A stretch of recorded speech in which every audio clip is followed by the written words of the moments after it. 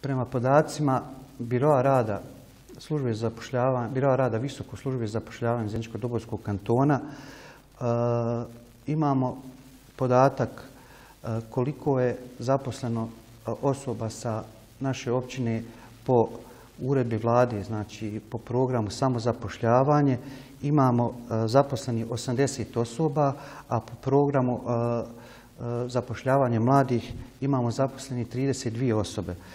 Isto tako, ostali programi Federalnog zavoda za zapošljavanje koji su jako interesantni, kao što je prilika za sve, imamo zaposlenih 16 osoba, što je ukupno po ovim programima 137 novo uposlenih osoba. Isto tako, ja bih iskoristio priliku da pozovem sve zainteresovane kako firme, tako i osobe koje žele da se samo zaposle, da iskoriste ove prilike, jer e, e,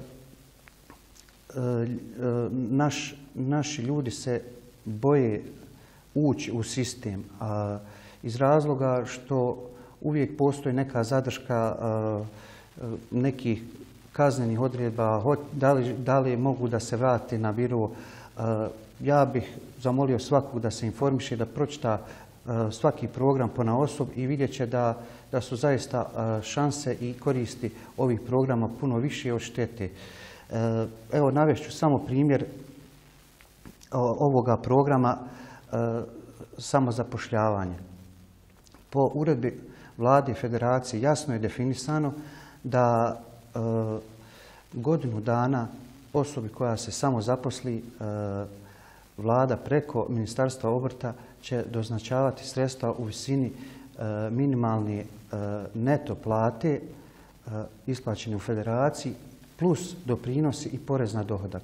I po onoj računici imamo cifru od nekih 570 maraka na mjesečnom nivou da će dobivati osoba koja se samo zaposli u periodu od godinu dana.